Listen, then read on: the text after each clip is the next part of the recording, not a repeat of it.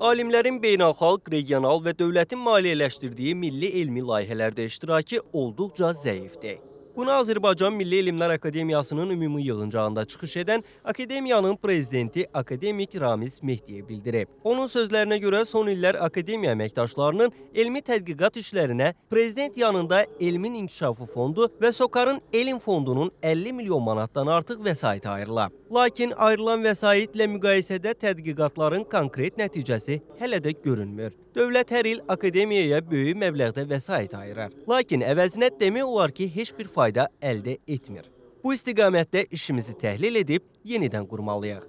Akademik deyib ki, Avropa Komissiyası beynəlxalq elmi layihələrə 80 milyon avro vəsait ayırıb. Yenə də təəssüf hissi ilə qeyd edim ki, alimlərimizin bu layihələrdə iştirakı lazımi səviyyədə olmayıb. Bunun nəticəsidir ki, Azərbaycan elmi bir sıra müasir elm sahələrindən, həmçinin yeni iqtisadi modellərin işlənib hazırlanması və tətbiqindən kənarda qalıb. Ramiz Mehdiyev qeyd edib ki, alimlərin qeyri-neft sektorunun inkişafına real dəstəyi və bu proseslərdə iştirakı ümumiyyətlə hiss olunmur. Bu da öz növbəsində Azərbaycan Milli Elmlər Akademiyasının yalnız büdcə hesabına fəaliyyət göstərən quruma çevrilməsinə gətirib çıxarır. Akademiya büdcəsinin yalnız 2%-i büdcədən kənar vəsaitlər hesabına təşkil olunur.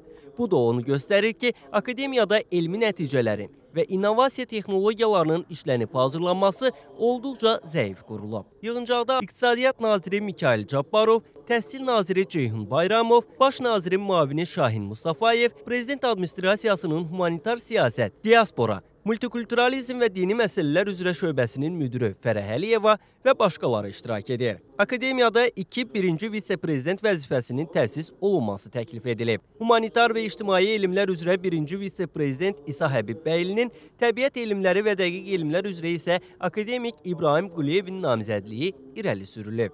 Tehran Orcoğlu, Baku TV.